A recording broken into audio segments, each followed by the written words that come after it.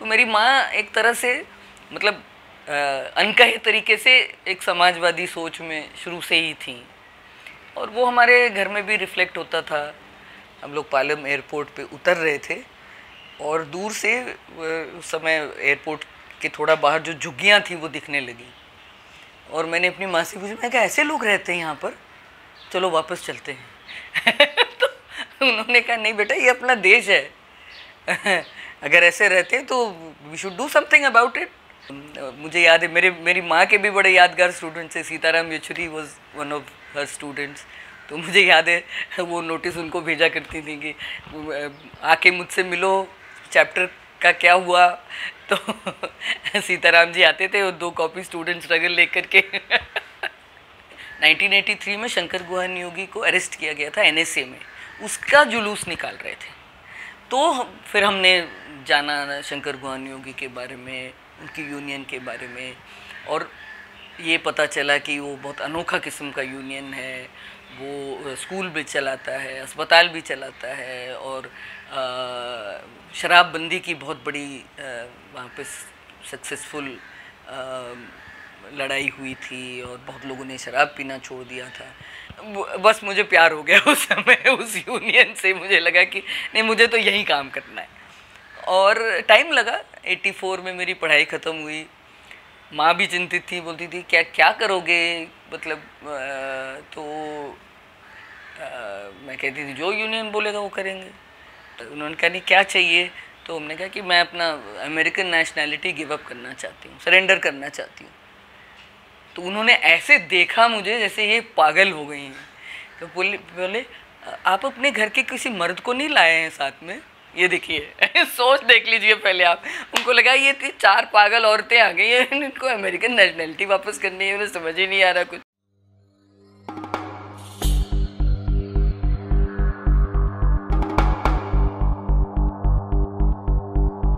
मेरी माँ एक्चुअली शुरुआत में अपनी माँ से करती क्योंकि वो कारवार की थी और आप, आपको याद है कि मतलब बेलगांव, कारवार, धारवाड़, ये सब गोवा के का नज़दीकी पोर्शन था और गोवा का तो गोवा तो बहुत बाद में आज़ाद हुआ।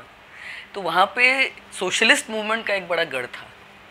तो मेरी माँ एक तरह से मतलब अनकहे तरीके से एक समाजवादी सोच में शुरू से ही थी। और वो हमारे घर में भी रिफ्लेक्ट होता था जिस तरीके से वो स्टूडेंट्स को ट्रीट करती थी, जिस तरीके से हमारे यहाँ काम करने वालों को ट्रीट करती थी। तो वो तो एक तरह से शुरू से ही इम्बाइब था। मैं एक्चुअली हालाँकि पैदा तो मैं अमेरिका में हुई थी इसलिए वो अमेरिकी नेशनैलिटी बाई चांस मिल गई। तब मेरे दोनों पेरेंट्स जो हैं वो पोस्ट डॉक्टरल के लिए गए हुए थे। तो वो अब क्या कहें आई वॉज़ एन एक्सीडेंट मतलब उस समय वो अफोर्ड भी नहीं कर सकते थे शायद एक बच्चा। पर वहाँ से तो एक साल की उम्र में ही आ गई मैं। पर हाँ अमेरिकन पासपोर्ट लेके आई जो बाद में आ, मुझे देना भी पड़ा। देना पड़ा क्या? मैंने आ, मैंने तय किया कि मैं नहीं चाहती इसको। चार साल की उम्र में एक्चुअली मेरी मदर ने उस समय एक बहुत फ़ेमस इकोनॉमिस्ट थे पियोरो सराफा जो इटालियन कम्युनिस्ट मूवमेंट के भी मतलब जो ग्रामशी के बहुत क्लोज माने जाते हैं पियोरो सराफा और वो ट्रिनिटी कॉलेज कैम्ब्रिज में एक तरह से भागे थे इटली से, और वहाँ पे उन्होंने शरण लिया था। और उनकी एक किताब थी production of commodities by means of commodities एक बहुत क्लासिकल वर्क है बहुत टर्स वर्क है छोटी सी एकदम पतली सी किताब। तो मेरी माँ उस समय आ, मेरी माँ को उस समय इकोनॉमिक पॉलिटिकल वीकली के शायद सचिन चौधरी थे उस समय। उन्होंने बुला के उनको कहा कि आप इसका रिव्यू लिखिए। तो उन्होंने कहा ठीक है मैं एक दो महीने में उन्होंने कहा एक दो महीने में नहीं लिखा जाएगा तुमसे? उन्होंने छः महीने लगाए। और जो रिव्यू लिखा, वो बाद में जब प्यूरो सराफा के पास चला गया तो वो काफ़ी इम्प्रेस हुए। और फिर उन्होंने व्यवस्था की कि मेरी माँ वहाँ पर कैम्ब्रिज आ जाएँ, और मैं चार साल की उम्र की थी उस समय। तो मेरी जो बचपन की यादें मोस्टली कैम्ब्रिज की हैं। तो चार साल की उम्र से लेके दस ग्यारह साल की उम्र तक हम वहाँ थे। उस समय तो हमारा घर तो पूरा इंडियन स्टूडेंट्स का अड्डा बना रहता था, खास करके वेजिटेरियन स्टूडेंट्स का बेचारे लोग कहाँ जाते तो हमारा घर भरा ही रहता था उन लोगों से। और आखिरी आखिरी में थोड़ा रेसिज्म वहाँ दिखने लगा था। हालाँकि कैम्ब्रिज तो एक, वो थी यूनिवर्सिटी सिटी थी तो वहाँ पे हर नस्ल के और हर देश के, हर राष्ट्रीयता के लोग वहाँ पे थे स्टूडेंट्स कैंपस पे। पर फिर भी वो शुरुआत हो गई थी उसकी। और वैसे भी मेरी माँ का कोई इरादा नहीं था वहाँ सेटल होने का। तो वो वापस आई और आज भी मुझे वो याद है जिस समय हम हम लोग पालम एयरपोर्ट पे उतर रहे थे। और दूर से उस समय एयरपोर्ट के थोड़ा बाहर जो झुग्गियाँ थी वो दिखने लगी। और मैंने अपनी माँ से पूछा, मैं क्या ऐसे लोग रहते हैं यहाँ पर? चलो वापस चलते हैं। उन्होंने कहा नहीं बेटा ये अपना देश है। अगर ऐसे रहते तो we should do something about it तो आई रिमेम्बर मैंने कहा अच्छा आ, तो क्योंकि मतलब उस समय उतना ज़्यादा थैचरिज्म वगैरह उतना ज़्यादा प्रबल नहीं हुआ था अभी ब्रिटेन में। और हम सब लोग फ्री स्कूल लंच और फ्री मिल्क और ये सब मिला करता था। तो उस समय तक कुछ आइडिया नहीं था मतलब हालाँकि बहुत सिंपली रहते थे हम लोग ज़्यादा अफोर्ड भी नहीं वो ये था लेकिन गरीबी क्या है ये मतलब ये, ये इस तरह की जो कठिनाइयाँ मतलब ये इसको समझा नहीं था। और दिल्ली पहुँचने के बाद लगभग एक साल वो दिल्ली यूनिवर्सिटी में रही उसके बाद जेएनयू में 1972 में आए। तो उस समय तो वो बियाबान जैसा था मतलब एक ही क्वाड्रेंगल बना हुआ था उस समय मुझे याद है। सारे आ, सारी टीचिंग भी ओल्ड कैंपस में हुआ करती थी और धीरे धीरे करके वो नालंदा नुमा सब स्ट्रक्चर्स वो हॉस्टल्स वगैरह बनने लगे थे। हम लोगों को तो सियार की आवाज़ भी रात में आया करती थी। इतना मतलब पैदल कुतुब मीनार तक जा सकते थे ऐसा क्रॉस कंट्री तो वो शुरुआती दिन जो जे के थे जिसमें हमारे नेबर बिपिन चंद्रा भी थे मुनिस रज़ा भी थे सीपी भामरी थे अलग अलग डिपार्टमेंट्स बन रहे थे। और बड़ा जेएनयू के लिए एक बड़ा यादगार समय था क्योंकि नए तरह के कोर्सेज नए तरह के डिपार्टमेंट्स बन रहे थे और टीचर्स और स्टूडेंट्स और कर्मचारीज के बीच में बहुत क्लोज रिलेशनशिप था, वो सब हमने बचपन में देखा। तो एक तो कैंपस पे रहना, ये एक बड़ा, बहुत बड़ा इन्फ्लुएंस था मेरे लाइफ पे। और वो कैंपस मतलब ऐसा कैंपस था उस मतलब इवन जब इलेक्शंस होते थे स्टूडेंट्स के तो गुंडागर्दी मारपीट नहीं वहाँ तो डिबेट्स हुआ करते थे मतलब। तो वो सब डिबेट सुनना वो सारे कल्चरल प्रोग्राम्स जाके देखना आ, मुझे याद है मेरे मेरी माँ के भी बड़े यादगार स्टूडेंट्स थे। Sitaram Yechury was one of her students तो मुझे याद है वो नोटिस उनको भेजा करती थी कि आके मुझसे मिलो चैप्टर का क्या हुआ तो सीताराम जी आते थे वो दो कॉपी स्टूडेंट स्ट्रगल लेकर के। तो वो कहती थी वेरी नाइस सीताराम लेकिन तुम्हारे चैप्टर का क्या? सो so, मतलब लेकिन ये एक उस कैंपस का माहौल और उस कैंपस का ये था कि यहाँ के जो स्टूडेंट्स हैं वो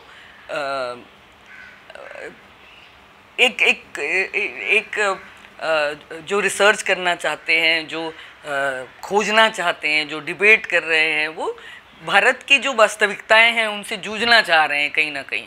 और खुद मेरी माँ के स्टूडेंट सुनील गुप्ता उनमें से एक स्टूडेंट थे, जो बाद में केसला में जाके आदिवासियों के बीच में काम किए। सीताराम जी का तो मैंने बताया ही है आपको।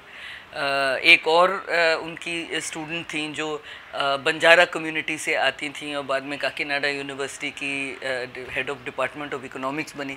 मुझे याद है अभी भी कि वो जब आई थी तो शुरू में काफ़ी उनकी रैगिंग हुई थी और उस समय उन्हीं की क्लासमेट उन्हीं की रूममेट थी ज्योति घोष। जो स्टूडेंट थी उस समय बाद में वहीं प्रोफेसर भी बनी। तो वो लेके आई थी हमारे घर और मेरी माँ ने पर्सनली जाके उसको मनाया कि तुम घर गाँव मत जाओ तुम मेरे पास आके रहो।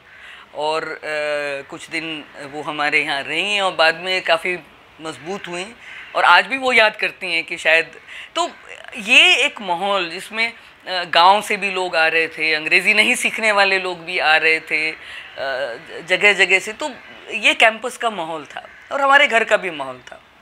तो शुरू से ये चीज़ थी। आ, मुझे मैथमेटिक्स में बहुत इंटरेस्ट था। हिस्ट्री में इंटरेस्ट था लिटरेचर में इंटरेस्ट था। लेकिन जैसा होता है अगर आप मैथ्स में अच्छे होते हो तो आप साइंस ले लेते हो तो साइंस में चले गए। और फिर आईआईटी का एग्ज़ाम दे के और आईआईटी कानपुर में मैंने फाइव ईयर एमएससी मैथमेटिक्स के लिए किया। वहाँ पे जो एक दो चीज़ें मतलब एक तो हम लोगों का एक स्टूडेंट्स का स्टडी सर्कल था। प्रोफेसर ए पी शुक्ला थे वहाँ पर फिज़िक्स डिपार्टमेंट में और बहुत मतलब हम लोगों ने बहुत स्टडी किया। एक्चुअली जो जो इकोनॉमिक कंडीशंस के बारे में फ्रीडम मूवमेंट के बारे में, उस फ्रीडम मूवमेंट में इवन जो कम्युनिस्ट मूवमेंट के रोल के बारे में, सब और साथ में आ, मुझे याद है उस समय उन्नाव में रैलीस फैक्ट्री में एक फायरिंग हुई थी वहाँ पर गए थे। आसपास के गाँव में फ्लड्स हुए थे। उसके लिए आ, कुछ काम करने गए थे। आईआईटी के अंदर जो एनएसएस था आ, उसके माध्यम से बच्चों को पढ़ाने जाते थे किसी गाँव में। तो धीरे धीरे एक और खास करके वो तो मेरा बहुत एक इंटरेस्टिंग एक्सपीरियंस था। पहली बार मुझे समझ में आया कि जो मतलब जो दलित बच्चे थे, वो तो सरपंच के घर में आ भी नहीं सकते थे। शुरू में जब हम लोग गए तो सरपंच साहब ने बड़े बढ़िया सा अपना घर दिखा दिया, यहीं लगा लीजिए आप अपनी क्लास वास। तो हमने कहा, नहीं, वो नाले के उस पार जो बच्चे हैं। तो वो तो समझ आ, उस समय उतनी समझदारी भी नहीं थी। और ख़ास करके मुझे, क्योंकि मैं तो एक तरह से विदेश से आई थी मुझे बहुत ये चीज़, इन चीज़ों की समझ और भी कम थी। पर बाद में फिर ज़िद करके हम लोगों ने वहीं स्कूल, दलित बस्ती में ही चलाया। वहाँ पे मेस वर्कर थे हमारे आईआईटी में, और मेस वर्कर्स का पहले से संगठन था। और ख़ास करके उनका कल्चरल ऑर्गेनाइजेशन भी था, और मुझे गाने वाने का खूब शौक था। तो उनका जो कल्चरल टीम था उसके अंदर मैं काफ़ी एक्टिव हो गई और फिर मेस वर्कर्स के इश्यूज़ और ये सब। तो ये धीरे धीरे जो मज़दूर वर्ग के बीच के बारे में एक आ, एक क्या बोले एम्पथी कह लीजिए उस जुड़ाव जो है गहरा होता चला गया। हालाँकि उस समय तक भी मैं ये सोचती थी कि नहीं, ठीक है, मैं बच्चों को पढ़ाऊँगी, मैं, कभी मैंने ट्रेड यूनियन लाइफ के बारे में ऐसा डायरेक्टली नहीं सोचा था कि नहीं, मैं कुछ, लेकिन सहायता में कुछ करना चाहती हूँ, काम करना चाहती हूँ, एक टीचर बनना चाहती हूँ। एंड शुरू में जब मैं दिल्ली राजरा भी गई तो मैं यही सोच के गई थी कि मैं यूनियन के स्कूलों में ही काम करूँगी। एक बड़ा चेंज आया एक्चुअली और मेरे ख्याल से हमारे जनरेशन के जितने एक्टिविस्ट हैं, उन सब लोगों के लिए वो एक दौर था। 1982 में एशियाड हुआ। एशियाड के लिए बड़े पैमाने पर जो है, वो माइग्रेंट वर्कर्स लाए गए चारों तरफ़ से। और जगह जगह पे उनके कैंप्स लगाए गए बाब्ड वायर के साथ मतलब लिटरली कंसंट्रेशन कैंप्स जैसे थे। और एक बहुत बड़ा जेएनयू के पास लगाया गया, जहाँ अभी प्रिया सिनेमा वगैरह हैं, वहाँ बड़ा सा मैदान था, वहाँ पे बाब वायर के अंदर ये मज़दूर थे।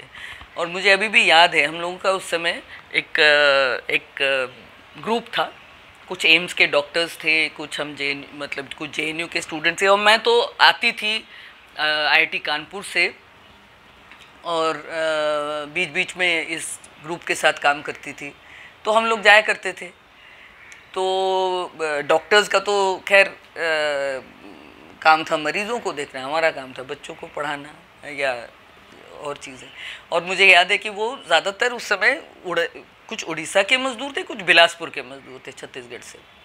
और आ, हमारे साथ में एक उड़िया साथी था तो उसने उड़िया भाषा में उन मज़दूरों से बात जब करनी चाहिए तो एक ने बहुत रोते हुए बताया कि हमारे मेरी पत्नी बीमार है, मुझे घर नहीं जाने दे रहा है ठेकेदार और सब कुछ कट जाता है, हमारा जो पैसा भी है वो यहीं चावल लेने के लिए वो उसी की दुकान से लेना पड़ता है, वो सारे पैसे कट जाते हैं। तो मतलब पहली बार वो बॉन्डेडनेस का एक एहसास होने लगा कि कितने मतलब कितने फंसे हुए हैं लोग। और अगली बार जब हम गए, वो मज़दूर गायब। तो वो मुझे याद है कि वो पहला झटका था जब मुझे समझ में आया कि भाई इतना हल्का फुल्का नहीं है मज़दूरों का संगठन बनाना। आप जो एक अच्छाई की दृष्टि से जाके कुछ मदद करने की सोच रहे हैं, हो सकता है किसी के लिए जानलेवा हो जाए। क्या मालूम वो किधर गया?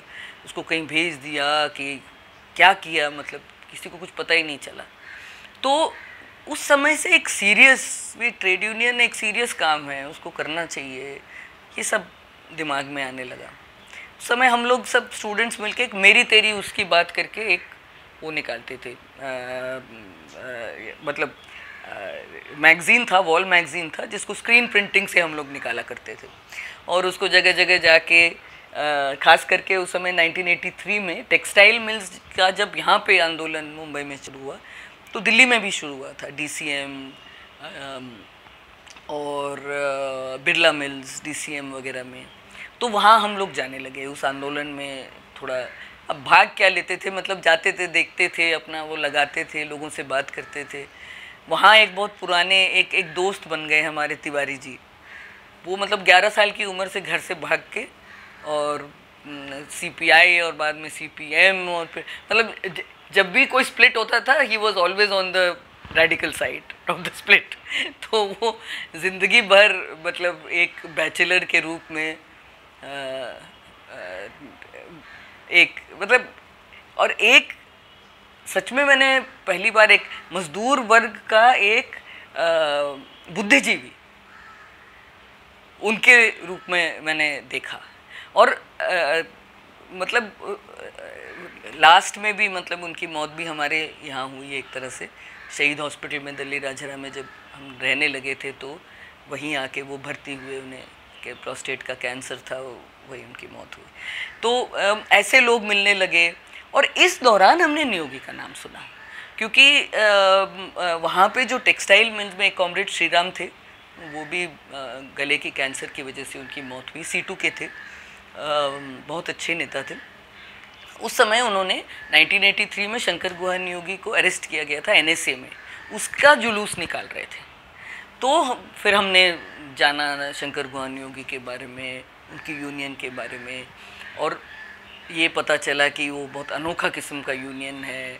वो स्कूल भी चलाता है, अस्पताल भी चलाता है, और शराबबंदी की बहुत बड़ी वहाँ पे सक्सेसफुल लड़ाई हुई थी, और बहुत लोगों ने शराब पीना छोड़ दिया था। और फिर हम लोग भी उस कैंपेन में जुड़ गए कि उनकी रिहाई के लिए। तो मुझे याद है हम लोग जेएनयू के प्रोफेसरों के यहाँ जा कर के सब सिग्नेचर लेना, ये सब करना प्रेसिडेंट के पास देने के लिए। फिर बाद में जब वो छूटे तो उन्होंने कहा, ये बच्चे कौन है भाई? हम, मैं मिलना चाहता हूँ। तो तो पहली बार मैं दिल्ली राजहरा 1983 में गई, दिसंबर में। उस समय ये वीर नारायण सिंह एक आदिवासी हीरो होते थे अठारह के। उनको एक्चुअली नियोगी जी ने ही स्थापित किया। और उनका दिवस मनाने लगे। बाद में देखा, देखी अर्जुन सिंह ने कांग्रेस की तरफ़ से भी वो सब करना शुरू किया। पर पहली बार, वो नहीं तो गज़ट में डकैत के रूप में दिखाए गए थे कि उन्होंने जो है ना वो फैमिन के टाइम पर धान लूट करके लोगों को बांटा था। तो पहली बार वो जाना और मैंने इतने लोग, नंगे पैर इतने लोगों को मैंने कभी देखा ही नहीं था जीवन में। और किस तरीके से वो सारे लोग चावल बना रहे थे मतलब मुझे अभी भी वो याद आता है। बड़े बड़े जो टब थे, उसमें गर्म पानी में ऐसी टोकरियों में चावल लेके, ऐसे डुबो डुबो के वो चावल बन रहा था, उसकी खुशबू आ रही थी। मतलब बस मुझे प्यार हो गया उस समय, उस यूनियन से मुझे लगा कि, नहीं, मुझे तो यही काम करना है। और टाइम लगा 84 में मेरी पढ़ाई ख़त्म हुई। माँ भी चिंतित थी, बोलती थी, क्या क्या करोगे? मतलब तो मैं कहती थी, जो यूनियन बोलेगा वो करेंगे। तो उन्होंने कहा, नहीं, ये सब ठीक है, पर एक महिला के लिए थोड़ा इतना आसान नहीं होता है ये सब। आप थोड़ा सा सोच समझ के जाओ। तो पर वो उस समय का मेरा ज़िद भी था और मैंने कहा, नहीं नहीं, आप बस बहाने से ऐसा कर रहे हो, आप चाहते हो कि मैं घर ना छोड़ूँ। मैं अकेली बेटी हूँ और हम दोनों ही अकेले थे उस समय माँ बेटी। तो फिर उन्होंने कहा, नहीं नहीं, फिर तुम जाओ। तो यहाँ से आपकी शुरुआत दल्ली राजहरा में होती है। और आपने गिव अप किया?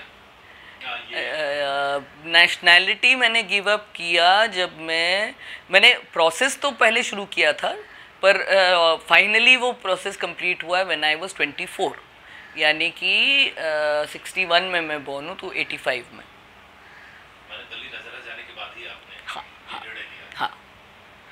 क्योंकि एज एन अमेरिकन नेशनल मुझे हर छः महीने वो एफ़ आर आर ओ में जान, जानकारी देनी पड़ेगी, मैं किधर हूँ, क्या हूँ। तो ये मेरा देश है भाई, मैं अपनी मर्ज़ी से यहाँ रह रही हूँ, मुझे यहीं रहना है। और मुझे अभी भी याद है, वो, जब हम गए थे तो वो कंसल ने कहा, आप पहले तो जब हम गए तो वहाँ पे खूब लंबी लाइन लगी हुई थी वीज़ा वालों की। तो मैं तो सीधा चली गई। बोले, मैडम, लाइन नहीं दिख रही है? मैंने कहा, नहीं नहीं, मैं अमेरिकन हूँ। बोले हाँ आइए आइए आइए। चलो, ठीक है भाई, आइए। तो मेरे साथ मेरी माँ थी, प्रोफेसर सुनंदा सेन थी, प्रोफेसर ज्योति घोष थी। तो उन्होंने कहा, नहीं, क्या चाहिए? तो हमने कहा कि मैं अपना अमेरिकन नेशनैलिटी गिव अप करना चाहती हूँ सरेंडर करना चाहती हूँ। तो उन्होंने ऐसे देखा मुझे जैसे ये पागल हो गई हैं। तो बोले बोले आप अपने घर के किसी मर्द को नहीं लाए हैं साथ में? ये देखिए, सोच देख लीजिए पहले आप। उनको लगा ये थी चार पागल औरतें आ गई हैं, इनको अमेरिकन नेशनैलिटी वापस करनी है, उन्हें समझ ही नहीं आ रहा कुछ। तो फिर बोले अच्छा मैं देखता हूँ। फिर बोले, आप अगले हफ़्ते आइए, यहाँ फॉर्म नहीं मिल रहा इस चीज़ का। अभी तक किसी ने मांगा नहीं है ये वाला फॉर्म तो अगले हफ़्ते गए। फिर उन्होंने मुझसे बड़ा से पूछा, नहीं, आप श्योर है ना? बोले, देखिए, आप कभी अमेरिकन आर्मी में सर्विस नहीं कर पाएँगी। हमको क्या, इराक जाना है तुम्हारे काम पे? मतलब अमेरिकन आर्मी क्या बोल रहे हो तुम? क्या नहीं नहीं I am quite sure then I give up my nationality और उसके बाद से होम मिनिस्ट्री की तरफ़ से मुझे सर्टिफिकेट मिला है कि मैं भारतीय हूँ और मैंने कभी पासपोर्ट बनवाया ही नहीं। तो पासपोर्ट तो मेरे पास है नहीं बस मेरे पास लेकिन होम मिनिस्ट्री की सर्टिफिकेट जो बहुत कम लोगों के पास होगा एक राष्ट्रीयता का सर्टिफिकेट है कि I have become an Indian national तो हाँ मतलब एक बार वहाँ चले गए यूनियन में तो आ, मतलब मुझे निश्चित हो गया था कि मैं यही काम करना चाहती हूँ और लोगों के बीच में काम करना चाहती हूँ। तो ऐसी वो जर्नी थी। धीरे धीरे हुआ और मतलब उस समय मुझे याद है 84 में जो एक तरफ़ जो सिख विरोधी दंगे हुए, फिर वो भोपाल गैस कांड का हुआ। बहुत सारी चीज़ों ने हम लोगों की जो एक तरह से राजनीतिक समझदारी को बहुत मतलब हाँ प्रभावित किया और लगा कि नहीं कुछ बुनियादी तौर पे कुछ करना चाहिए कुछ बुनियादी तौर पे समाज को बदलना है। तो उस समय जो नियोगी जी का जो ये यूनियन था मतलब जिसमें वो बोलते थे कि ये मतलब आठ घंटे की यूनियन नहीं, चौबीस घंटे की यूनियन है, जहाँ जहाँ मजदूर के जीवन है, वहाँ वहाँ तक हम यूनियन को जाना चाहिए। और सत्रह विभाग बने हुए थे मतलब स्वास्थ्य का भी, शिक्षा का भी, महिलाओं का भी, महिला मुक्ति मोर्चा बना था। जो किसानों के साथ काम करते थे। और ये मतलब ये ये ये मज़दूर किसान आ, मतलब वो झंडा ही लाल हरा था मज़दूर और किसान का। और बहुत आ, जो मज़दूर यूनियन था उसकी बहुत मतलब आसपास के मतलब सौ डेढ़ सौ गाँव से गहरा रिश्ता था। आ, तो ये चीज़ और लोगों के अंदर एक सपना था मतलब जो नियोगी जी ने मतलब वो चाहते तो वो अपने यूनियन का नाम आयरन और श्रमिक संघ रख सकते थे। पर छत्तीसगढ़ माइंड श्रमिक संघ रखा। और उनकी एक समझदारी थी कि ये जो छत्तीसगढ़ मतलब एक तरह से जो जो जो छत्तीसगढ़ का इलाका है उसका जो आ, मतलब एक मजदूर वर्ग को आ, उस राष्ट्रीयता छत्तीसगढ़ी राष्ट्रीयता का की का नेतृत्व करते हुए एक डेमोक्रेटिक छत्तीसगढ़ बनाना एक न्यू न्यू नया छत्तीसगढ़ वो बोलते थे, नया छत्तीसगढ़ बनाना है। तो लोगों के जीवन के हर पक्ष को वो यूनियन छुएगा, ऐसे।